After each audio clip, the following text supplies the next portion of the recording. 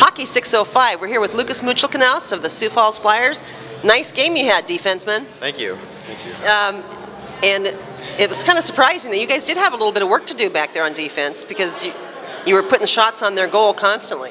Oh yeah, we just the uh, forwards feed us up and we just throw it on net and hope for the best. Well, and you were assisting on a couple of those goals at least, weren't you? Yeah, I had the first assist. So. Okay, I remembered remembered hearing your name out there, um, but but it seemed like you guys were relentless, and that first assist came what 36 seconds into the game. Somewhere around there. Yeah. That that's surprising. Uh, how often that happens in hockey, isn't it? Yeah, we just came out ready to play and just peppered the goalie and hope hope it go in. So. Well, and when you had that 2-0 lead, I think it was 2-0 at the end of the first period, wasn't it? Um, 2-0 is kind of a scary lead because that still leaves room for the other team to get back in. Yeah, it's said to be the worst lead in hockey, so you just got to keep putting goals in the net and hope for the, and just ramp up the score. And that's what you guys did. Oh yeah, felt really good.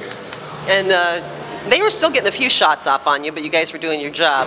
None of them got in the net. Yeah, just keeping them outside, not giving them very many good opportunities.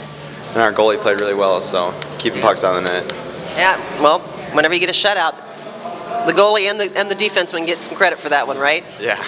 So tell me, how long have you been playing hockey? I've been playing hockey for around 11 years. And what made you decide to start playing? Oh, I actually, we had a family friend who played, and I told my parents that it was really cute and fun to play, and now here I am as a senior. Just kept on going. Yeah. What, what did you like best about it when you first started playing?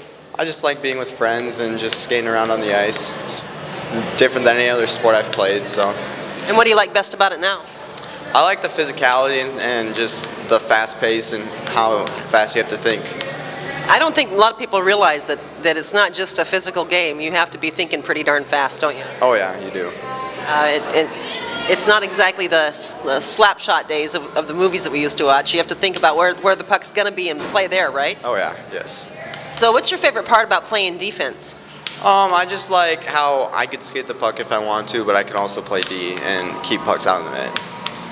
And it's a small enough um, crew on the ice that everybody can have a part in scoring, right? Oh yeah, yeah. So do you think you might play after high school? That's the plan. I hope to go play juniors next year and hopefully um, get noticed by a college and go play college hockey. Have you been looking around at some juniors programs now? Um, yeah, I went to two junior tryouts last year and they really liked what they saw, so hopefully I get asked back and then go into some exposure camps this summer and hopefully get noticed there. All right. Well, you're going to have to keep us posted on that and let us know where you go, all right? All right, I will. All right, Lucas, thanks for taking some time with us at Hockey 605. Good luck tomorrow. All right, thank you.